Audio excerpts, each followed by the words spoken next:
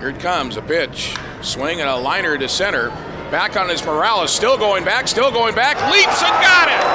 What a catch! Morales got turned around in center field. Some fans are on their feet. What a outstanding catch by Brayan Morales.